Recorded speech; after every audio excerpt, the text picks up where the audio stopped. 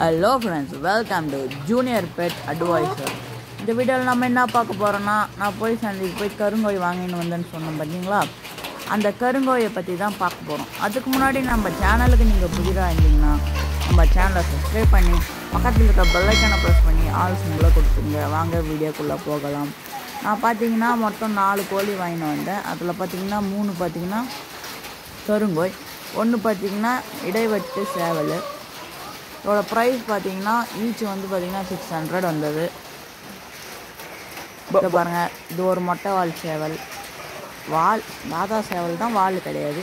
இது பாருங்கள் கதிரியாக்கு பார்த்தீங்கன்னா கருங்கோயில் என்ன ஒரு பெனிஃபிட்னு பார்த்தீங்கன்னா அது பார்த்தீங்கன்னா நோய் தாக்கன்றதுக்கு ரொம்ப கம்மியாக இருக்கும்.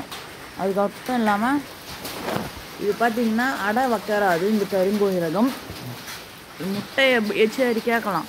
இது எப்படி உற்பத்தி ஆகி வந்தது பார்த்தீங்கன்னா அந்த காலத்தில் பார்த்தீங்கன்னா இந்த கருங்கோய் முட்டையெல்லாம் எடுத்துன்னு வந்து நாட்டுக்கோழி கட்டுக்கு முட்டை வச்சு பொறி வைப்பாங்க. அப்படி இன்க்ளூட் ஆனது தான் கருங்கோய் ஏன்னா நாட்டுக்கோய் அடையில் உட்காரும் அதுக்கு முன்னாடி போன வீடியோவில் பார்த்தீங்கன்னா நான் சொல்லியிருப்பேன். அலுவலகத்தில் வச்சுருக்கேன்னு. சிப்ஸு.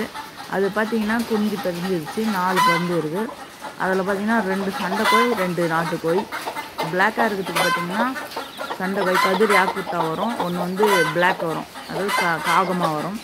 மீதி ரெண்டும் பார்த்தீங்கன்னா செவல் கலர் பட்டை கோழியாக வரும் ரெண்டுமே பட்டை தான்.